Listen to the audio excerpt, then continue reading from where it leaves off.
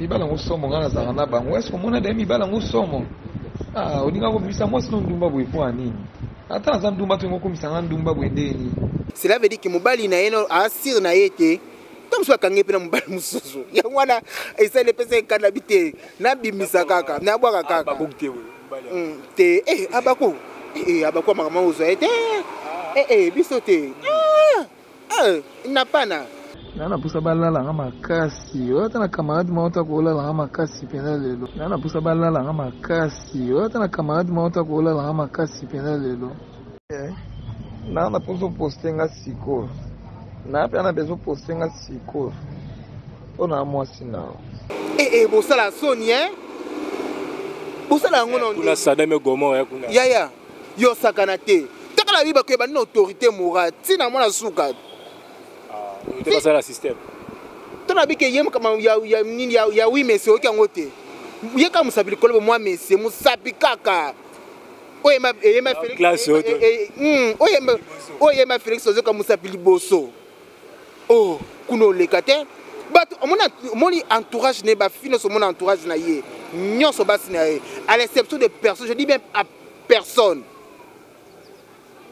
quand je dis ça na oloba yango avec enseignement mpo toyebi entourage na ye à l'exception de personne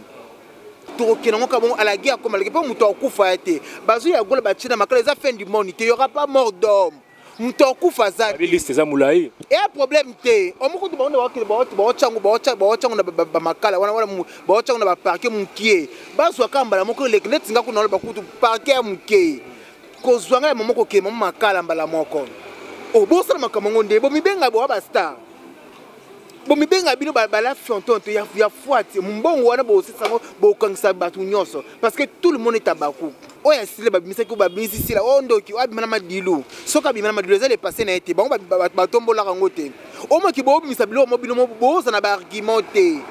en fait bozana boyeba biloko boloba te pela mais c'est kukela osepela makambo eza oh makambo mosi ya kola bimi makambo eza tuka mutu na mutu ozwa part na ye wana bato bando banga bato bafinga su te nango abanga oh tobanga nani tangela na koma mutu biso tokobanga tangela nga na ba utiliser ka marina oh bo bo maribel ba banga anani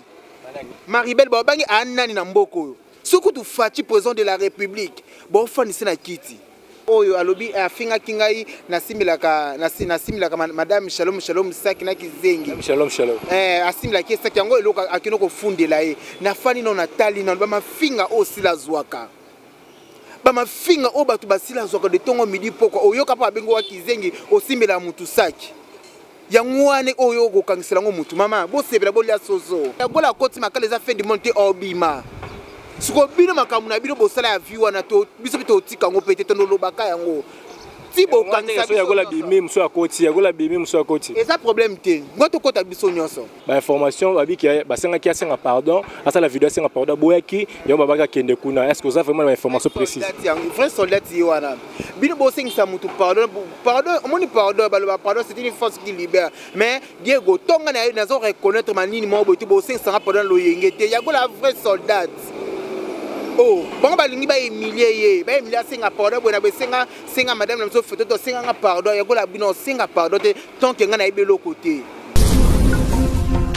Merci mesdames et messieurs, fidèles internautes, Yamela Luzolo Télévision, ici pas comme les autres. On est là pour vous servir et tout travailler car on est singeli là vraiment même si santé ça bien mais tout c'est la musala pour na babonné na biso Yamela Luzolo Télévision. Merci na Marie Luzolo du maître pourquoi pas Tony 5 de derrière la caméra, merci na mom une femme au grand cœur, maman na biso Amelia Luzolo, merci na Grace Basaoula, pourquoi pas na pesa merci na Jackie de Colon quand pour tes mères. On va parler de l'actualité mesdames et messieurs fidèles internautes, comprenez que ce bon moninga de kulimbi na yé na kati ya mozindo za poto sur l'actualité pour na soki Zaire ningani. Vraiment une mauvaise nouvelle mesdames et messieurs de bomona qui na ba publication partout dans Facebook partout euh, concerne biso ya Gola euh, ya Gola Liliane Owapi Euh, ezalaki na parquet parquet mama moko aza na makala ça fait déjà trois jours yango oyo vraiment lelo tosolola mpe na moko ya ba ya confrère na biso claque euh, oyo wapi tozalazalaka na ye papa oyo eza ndako na ye tokosolola tokomi na niveau nini mpo na ya gola makambo nyonso esalama ndenge nini epuis tokosolola likambo ba voice oyo ya, ya remi oyo wapi ebimi toyeba te est ce que eh, eza ye voi eza ye nyonso eza ye te on va parler puis tokosolola mingimingi makambo ya théâtre nde se passe actuellement na kati ya république démocratique du congo est ce théâtre eza na niveau oyo esengeli to théâtre ezokita se kokita voilà sans plus tarder tony sengeli efongolelanga plateau na ngai bonjour et bienvenue claque bonjour diego le mignon bonjour na baabone na biso nyonso ya mela luzolo en tout cas boya eboya boya ebele bopartage bokommente bosala nyonso oyo esala ke esunga biso nasenga na bino bapartage na bino ezalaka très important bajeme na bino no bacommentaire na bino en tout cas botalaka mpe biso de début jusqu'à la fin eza façon ya kosoutenir biso merci à toi diego anungo pensé na ngai esali ngai vraiment bien mbote na babakuk nyonso ya monde entier mbote na bino nyonso kobanda na autorité notre autorité morale notre maman notre mamouche mam sisila bisalu mama si en tout cas topesi bango te place ozali voilà merci beaucoup déjà diego balinga alobaka bakiasi oza ya yo biyano eza ya ngai Voilà, ba question c'est ngai, mais d'abord boni musala, babi mikolo dans succès, mikolo zo travailler euh, non stop, zo servir vraiment ba boni na bino vraiment. Félicitations encore une fois. Merci beaucoup Diego, merci beaucoup. Le plaisir est partagé. Yo to obela mais oyeka ofungola caméra. Euh omoni ya certaines choses euh, esenga mpe babiso bakla ko toleka tolobela yango parce que ti toleka bo parce que toyebi ya vérité mo ebele nde tofanda boye toyebi bato mosusu batelemisa bi oso aleki obimisa me misusu tobimisaka te toalika mpona barespect na bango mpo na nini totikaka tika me toyebani vraiment toyebani toza makambo ya koloba oyo ekanga mpe elesama youtube mo il pendant une année en tout cas nous toza na toyaka mpona kodefendre todefendre sila ya biso tosala promotion na biso no mafinga nous nous sommes là mpona kopromouvoir ye kobakele bafleur kosoutenir ye mpe apesaka biso apesa biso mbongo te asomba mpe biso te toya volontaire moni volonté na biso moko kolinga ye mingi en fait yango toya todefendre ye e nzambe mpo aosala ngolu na ye mambo ekende mpo biso kisi toba tosimba te na vie donc totyaka nzambe liboso yango mpe makambo ekende ka ekende ndenge ekende ka boye voilà makambo ekende ekende kaka boye l'actualité nous oblige tosolola yango lelo troisième jour euh, Serge Mabis ya Gola na kati ya Makala ya Gola oyo wapi biso toyebi a dépensaka pe si la bisalu ya Gola wapi oyo a dépensaka a défendra pe ba valeur je m'excuse oyo wapi pena balobi ba surcharger ba dossier na bite bite biso na lisolo yango qu'est-ce qui s'est passé ezaki ndenge nini maman ya Gola se retrouver na Makala En fait, euh, Diego, le, Diego le Mignon, moni na mokili oyo soki mutu amemi yo na place ya boloko amemi yo biloko ya bongo donc abomi yo déjà e toyebi makambo elekaka na youtube awa ah, lelo, lelo, lelo ya gola aza na makala bato baosepela ye tokangisi ye mafinga eleki boye na boye tozonga ka na internet awa ah, soki bato aka ya famille maboma so bango bafingaka te famille maboma so bango bafingaka te tomonaka balive na bango baémission na bango de ntongo midi mpoka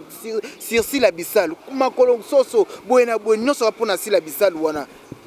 tomona esika sila bisalu to akende akangisa motu moko to asala eloko moko te alakisa bango aza star moto babengaka ye ya mokolo wana alekala bango mo ebele aza star ifo balobela ye quel que soit les biens quel que soit na mabe faut balobela aza star siko bino siko bokosupportan te pourquoi ntango bino bokosupportan te bokanga mpe bambwa na bino bafingaka te hmm? makambo naloba so nakokosa bandeko botyela ngai bacommentaire elingi ozala bien soki bango bafingaka te to bango basalaka eloko moko te wana masafu ntango bateye ya solo ke mabe eza ngambo na biso boye na boye mai ntango bino mpe bopelisa banini na bino mitongo midi mpoka mpo na komba sila kofinge ana fami te ana belle fami te ana baleki te tokokenda ngo kabongo alagi akomalaki mpo moto akokufa ya te bazwi ya gola batyena makala eza fin du monde te yora pas mort d'homme moto akufa aza liste eza molai e problème te omokutu bango nde baotyango baotyango na bamakala wana wana baotyango na baparke mokie bazwa kaka mbala moko eleki ndeti nga kuna bakutu parke ya mokie kozwa ngai mama kokende mama makala mbala moko obosana oh, makambo yango nde bomibenga boa bastar bomibenga bino bala fionton to ya fwati mbongo wana bosisa yango bokangisa bato nyonso parce que tout le monde est abakuku tout le monde est Habakkuk. Bokangisa biso nyoso. balobi boloba baargument eza solide bopromouvoir artiste ya mais ke bofinga bellevie bofinga marina bofinga bato bato surtout makambo ya kimpese nde bimisi makambo babi makambo ya kimpese koma bavie privé ya bato balepasa bato baobimisa wana tv lelo siko balepasa bato mpoka tolingaka baverité te oyo asila babimisaki oyo babimisi sila oyo ndoki oyo abima na madilu soki abima na madilu eza lepase na ye te bango batombolaka yango te omoki bobimisa biloko mo bino boza na baargument te en fait boyeba biloko boloba te tokodieko na biso internet esepela mais sekokela osepela oh, makambo mosi yakola bimi makambo eza tuka motu na motu akozwa part na ye wana bato bandobanga bato bafinga te munango abanga o oh, tobanga nani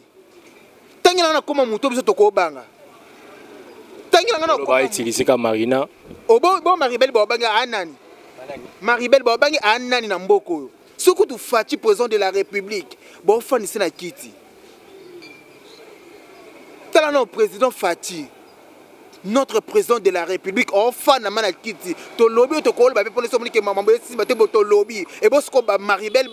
bamese shalom shalom tobanga nani o oh, moto ya moto ozwa part na ye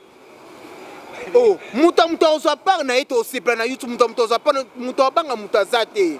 bakamera mpe baconnexion ezanga te toloba kaka ti bokanisaki yo oza na liste te mpo babi yo mpe ozodeborde o oh, nokota na obima mafusu baotyali batondisa vraiment mafuu tant que biso toloba verité totika te toloba ka verité yo osali buzoba na yo moko boye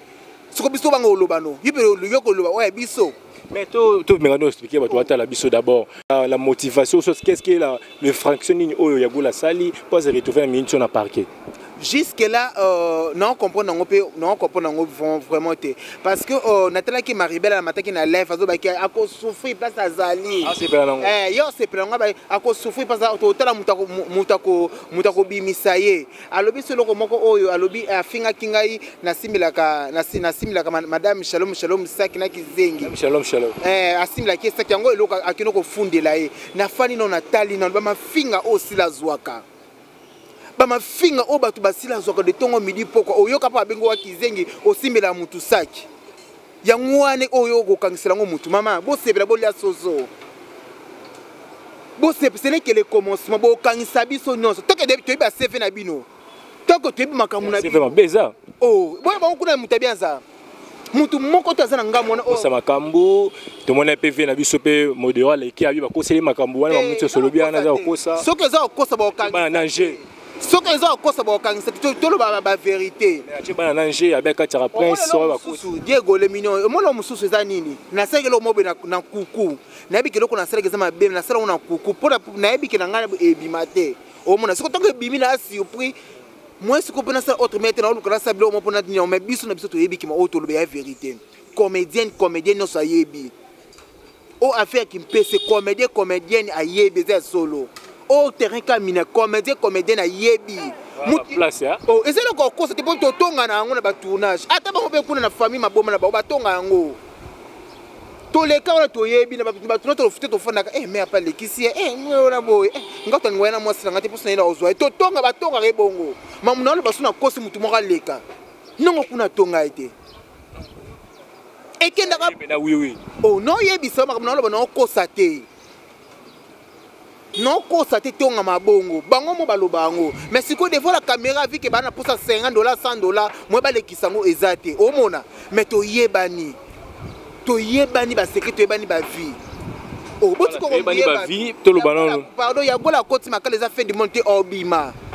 sikoyo bino makambo na bino bosala ya vie wana biso mpe totika yango mpe te tondolobaka yango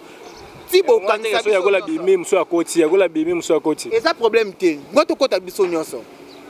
babongisa nga vraimen kuna osenga babongisa bambongo babongisa mpe basaki na bango eza bambongo eza ebele mpo bapente noza chaque jour tolemba te hmm.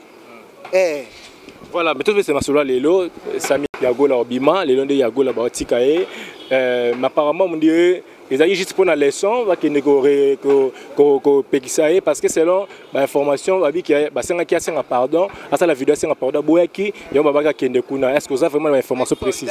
vrai soldat ye wana bino bosengisa motu pardon pardon omoni pardon baloba pardon c'est une force qui libère mais diego tonga na ye nazo reconnaître manini moko boye te bosengisanga pardon loyenge te yango la vrai soldat o oh, bango balingi baemilie ye baemilie asenga pardon boye na boesenga senga madame na biso foto to senga nga pardon ya kola bino senga pardon te tant que nga na yebe loko te tant que loko na yebe vérité non ko encourager non on senga pardon on senga nani nani anzambe na kati na bangwana oh nzambe kutu osali mabe olali mpo osenge pardon te olekani mpe na pongi na tokutana ntongo na nzambe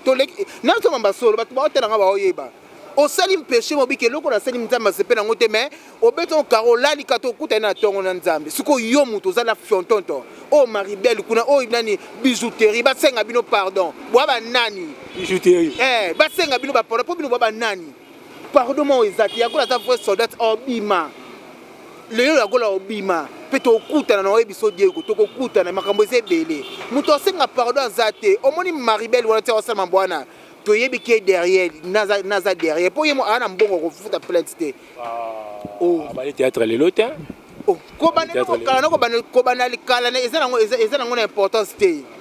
zala na sikola makambo ye baza tv te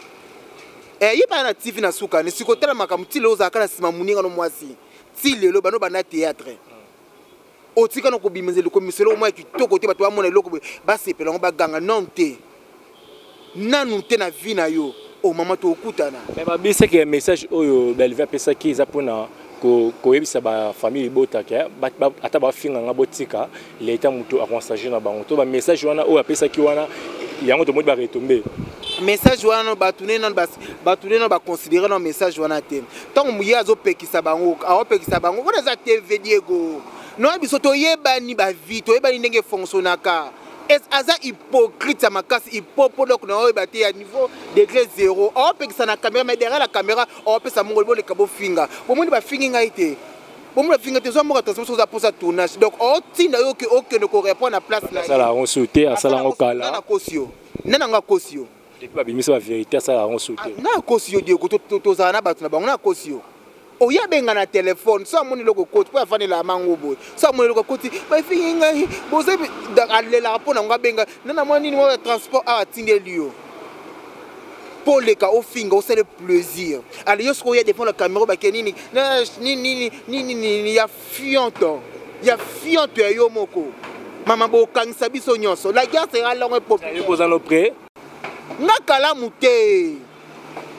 grande instance mpe te nga bokenda nga mbaa moko oh. eh, nga va mokamate mbaa moko mpo na osenga pardon te nga na osenga pardon te na ko s'excuser te mpo mamu na oloba na bato na otuna papa juge mamu na oloba eza e, na okosa to na oloba verité ok mamu oloba eza verité ok bokela na makala mbaa moko mpo pardon na nata nango te pardon na osenga ka nzambe hmm. hala moto na osenga pardon ka ye wana echanzaka eh, mpe eloko te osexcuse peut-être obeta libaku mais asengi pardon nga na beta libaku te ona lobaka ya verité libaku te Diego ko encourager bango te ona lobe za libaku te eh on ba solo kangisa boye c'est pas bien moi na ko kangisa boye za libaku te moi j'assume ce que je sais que ce que je suis en train de dire j'assume mes propos parce que j'avais que ça vérité poso eye wa mukamati tokelango ti na soubassement mamu na loba eza ya lokuta tando kobengana ya kingani mamu na loba eza ya lokuta o oh. balobaki ya sila atindaka bino te botika kotya bavi na bino ya danger botika kotya carrière na bino ya danger nesi boye selon ça se murmure ke nesi boye eh, bakuki mpe bazokipe te nayebi te ngai na journaliste antunaka baquestion nde bakangisi ya gola boye certaines personnes baosepela nango certaines personnes mpe balobaka ayebi alekisaki Euh, non bana korepondre no boye biso ti toya toya moi personnellement ti naye mpe asila biso lokosoutenir ye babenga nga te bafutanga mbongo te eza volonté nanga namoni ke te moi afingami tellement trop aza na bato bakolobele te moto aosanga mabe bino booya boolobele ba mabe mo bosurie na koka yango te nga na ya mutu mo tisila futa yanga mbote ke leka fungela nga mutu no tika osalema te bato balobaki babakuku baokipe te baomikosa omoni ya biso eleka eh, tolekisa yango devant la caméra te oyo oh, tosala ya bien tokoya yango devant la caméra te omoni biso na boye tosala boye tosala boye tosala yango te biso tozala bongo te tosala kipokrisi moko boye te biso tosepeli na eloko te tosepeli nango te les abakuku baza, baza to, biso toza, toza moko kobana na mama na biso ti biso toza moko en tout cas naosenga na bato naosenga na bino bato oyo boyoka n'importe quoi si sb en tout cas euh, babakuku toza toza même morale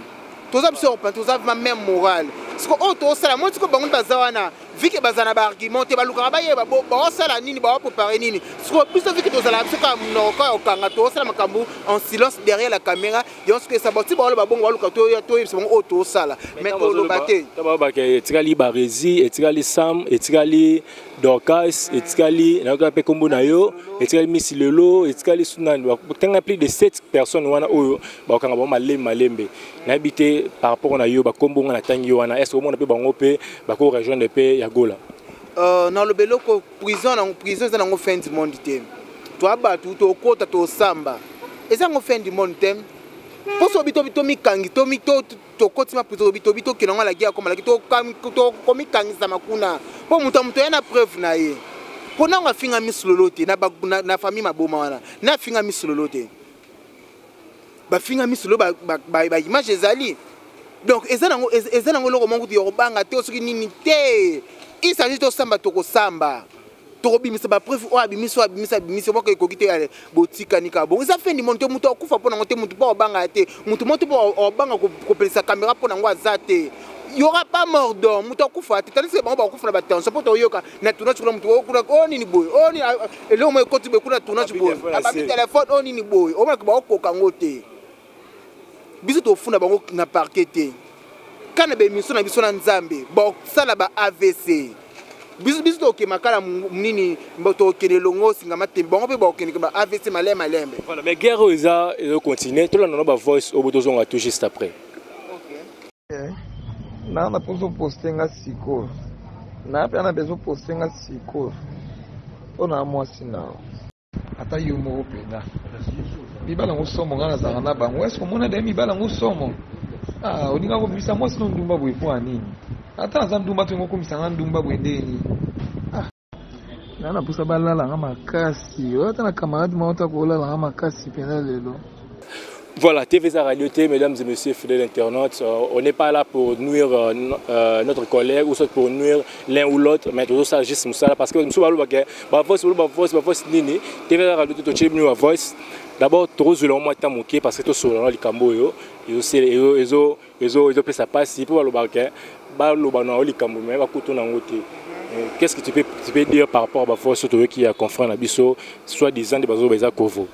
soit disant te diego tika tokamoni mabe topakola yango mafuta te eza soit disant te mpo motu nyonso oyoka voice na oyoka voi nani omona oyoka yango vraimen beza ya kovodor totika totika kokomasika ba soit disant soit disant te eza ye oh eza nga to nayoki na ngango namona yango namoni yango kutu eloko oyo ya osamba te parce que on se connaît to nalobaka toyebani bavie eza eloko diego Oh, etoni nga te mpo nayebi baje omoni kuna moto moto malonga aza te kobana autorité morale na misolo kasi okobana na autorité na morale nanu nzambe ya mwa mesie liboko kaka boye mwa mesie ozwi baserviteur nde ndenge moya basi bamwa mesie ya mibali ndenge bape donc eza kuna bapesaka nde kopesa toyoka bavoice autorité morale apesa remi epa président moko toyoka yango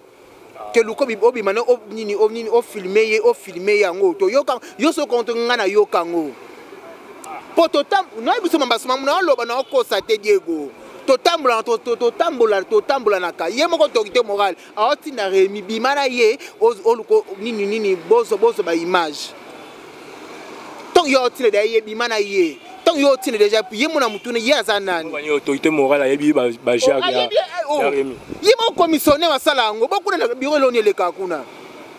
bapartenaire na ye banani na ye kuna ye aza koyo ye ibenge ayebi ke motu oyo so aya monene te yo nofo na peso yo obongi na bionce zwa ye so amoni oyo aya babi te yo obongi na kingani bo aye mo apesa bango bongo on se connaît toyebani très bien ngai étonné na ngai te tant mosusu bino moto boza surpris tant mosusu boyoki obi e moto tomonaka azaka boye eza vie na ye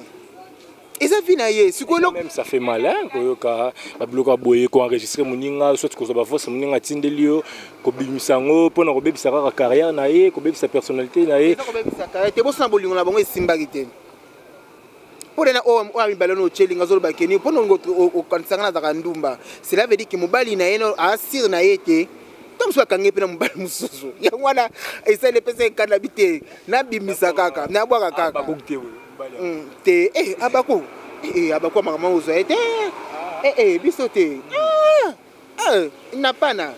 na pana vraiment na pana eza te Mais ba jara biloko ya boye ezobebisela be biso bajournaliste kombo parce que déjà batraitaka biso déjà ba biloko oyo mais komona so ba biloko en tant que journaliste d'abord euh, elo nini okoloba par rapport est ce que sentiment nini oyo mpona komona ba biloko ba confrère na biso basala biloko Euh, en tout cas, naza na conseil à kopesa te mais mais ça fait ça fait vraiment mal, hein. ça fait mal parce que omoni balobaka muyaka moko afingisa bayaka nyonso donc ntango baomona deja mutu moko mutu moko osala eloko mwa boye mota directement bako bambela yo diego ah, seke yo mpe yo omona bateleli baoso baoso baproblème na bacouple na bango e eh, mosala bino bozalaka boye atraite yo mpe mbala moko directement na makambo wana ntango mosusu yo mpe osala yano yango te e ezosala biso vraiment pas esala biso mpasi omona soki babiso azwi kofinga motu wana nde afingaka bato non tala sikoyo siko ofinga motu mo yo moza bavie mo ya mabe hmm? ofinga bato ntongo midi mpoko wana vie mo ya salite yo moyo mo oyo oh, so opesi motu cv no boya kotanga yango te te ya solo mpo biso baseve na biso eza nao bien eza bien motu so opesi seve no atangi bien ah, atangi ntango afélicité mais jusqu wana seve no ya mabe mpo olukana oluka no protégé tango mwa mabe limama mabe na eza ebele nani ofinga batu ee eh, eh, bosala soni e bosala yango nona sadame gomor ya kuna yaya yo sakana te taka na biba koyeba nini autorité mora ntina mwana suka ah, te basala système to na bike ye makama ya nini ya wi mesi oyoki yango te ye kaka mosapi likolo bomwa mesi mosapi kaka oyo eyema felix oyo eyema felix ozoka mosapi liboso oh kuna oleka te bato omona omoni entourage na ye bafi nyonso omona entourage na ye nyonso basi na ye à l'exception de personne je dis même à personne quand je dis ça naoloba yango avec enseignement mpo toyebi entourage na ye à l'exception de personne so bito no totanga bakomo tokende yango ti à l'infini tomona wana mpe ke non mwasi ya libala bona boye ya ya nayebi à l'exception de personne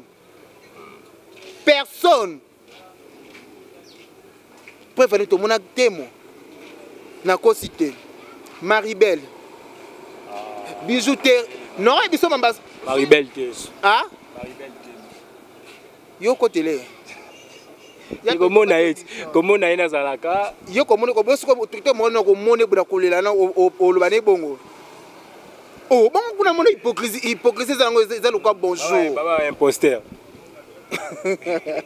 abie na deux vie différent nayebisa yo nyonso wana basi na ye nde bawele bazowele na biro akandakanda ndenge bazokowele na biro akandakanda eza ngana napesi diego to naloba ngai atoni oyoka yango bakende na ngai mpo ngai nalobaka verité po devant caméra na kokosa na ngai te diego so okati kami okobi to na banda okoso na okoso mais devant caméra na olobaka vete mpo yango moto edefendre ngai batala biso partout eh. kokosa te protégé mpe quand même pcv tu vois baba ekraka akendaka prison azongaka asalaka boye bafundaka ye apa ye obima aza na raison na bonne cause mpona naoloba naoloba na ngai lokoko naokosa te tolobaka verité bosolo bosolo na internet bosolo na internet en tout cas ntango bino bosala bamabe bokangisa bato bosala mabe bose prépare mpe hein, parce que baémission na bino mpeza mpe enregistre mpo toke tolakisa biso tokolakisana ya yo yango ya ngai mpe yango oyo tomilakisana Voilà, tout le monde a IP, euh, pour tout le monde qui a un bisou, l'antimé, c'est vraiment un siga. Comprenez, mesdames et messieurs, tout ça, on a balabala. tozosala totomani mpe intervention ya ana ya ana wapi bafundaki ye epa kimbimbi euh, wapi kimbimbi alobi par rapport ya yake no dépose plainte par rapport ke ba diffamation ya ana nda bayike anga kangisa ye bilo mwa bongo tolandi biso nyonso ya ana est ce que ya ana mpe alobi ke nde bolakisi biso parquet biso mpe tokomokina parquet c'est une bonne idée oui c'est une bonne idée tokende kaka la guerre comme à la guerre parce que ça n'est de trop ça n'est de trop parce que omoni yana tomoni yana aza na vie privée na ye aza na babelle famille aza na bamakambo na ye e bango bafinga yana de tout et de rien est ce que mokasi bana yana basepela nango batika kosepela nango te to bango baloba ba n'importe quoi sur ye bato batika kosepela nango te mais sikoyo bino boye bosali bosala bamenace via moto ekomi en insécurité tokenda yango bongo yana mpe ana raison na ye parce que bino boyofuna ngai bofuna ngai na eloko oyo bino mpe bosala yango soki tokendeni tosala ndeni tomituna baquestion tokende ngo alaki akoma lake parce que bino mpe bofinga bino mpe boshoka bato bino mpe bosala bato mabe tokende yango bongo alaki akoma la guerre oh yala esika akoti esika akoti eza nango problème te euh, esika aza nango eza problème te mpe baokanga ye te mpo yana mpe asala infraction moko te abomi mpe mutu moko te okende yango eh, bokende yango ti bakosala yango mpe esili yango esili yango esili donc voilà funda ya na mo teke eza eza sans te nda fundi ya na asali erreur ngo yete oh eza yete eza na bato baza derrière ye eza kimimi te eza yete eza bato baza derrière ye moto baosa makambo wana nga sikoyo ekamwisa nga omona motu grande personne boye oboza manipule epa motu moko boye ka mpo na 50 dollar me boya to pieni ba 50 dollar yango si bozanga yango na bapose bafutela bango pale bafutela bango ndako kofutela mpe eh, ndako eh. ezala bongo bapesela yango eh, bapesa mako oza bezo boni zwa jusqu oya kokende kokende osalasala boye siko omona motu kaka kimbimbi omona motu pardon Voilà, mesdames et messieurs, fidèles internautes, dans mes sirènes, matoki amso na suka. Mais lelo, théâtre na biso ndozo mona makambo zo comme lelo boye. Toi la chance te hein, mboko na biso. Euh, en tout cas, koloba chance te eza eza eza grand na ba na ba oba ma sikozo ba na pe te pendant 2 minutes alobi lelo ba ko kata hémorragie lelo maman théâtre na mo beba eza sila na na Bellevue jusque là tant je m'excuse baloba eloko te théâtre na biso tozalaka tomonaka baproblème ya boye Oh, démarche oyo eza nango eza nango kaka silo na bellevie te motu fo basala yango tu vois euh, toza na bapapa na biso ya mikolo bamonaka makambo oyo omoni tozalaka kaka baparti mpe ya bato te mpo ke mpo na mwa mbongo moko boye te esika oyo asali mbeba mpo mpese faute na ye esika oyo asali boye bolakisi ye ezala kaka te kaka mpona kaka ke uh, motu moko awapesaka awapesa bino eloko moko boye te tozala komilie boyoki oyo boyoki mpe oyo mambo ezo omoni makambo oyo ezoleka baguerre oyo eza nango lelo eh, bana nango lelo te ça date de longtemps ti bapapa na biso elombe bazalaka kosala yango batheatre ezalaka nango ba 12 kala na kala makambo ezalaka te eh, makala siko lelo sikolo toye nango na kilelo nango o comprendre youtube lelo ezali moto moto aza facilité ya kotransmettre message mais na kala ezalaka bongo te na kala totango tozalaka yaka te ba trois chaînes to ba deux chaînes boye tu vois omona mais lelo moto ya moto aza, aza libre libre ya kofungola kamera naye aloba n'importe quoi sur motu mais bango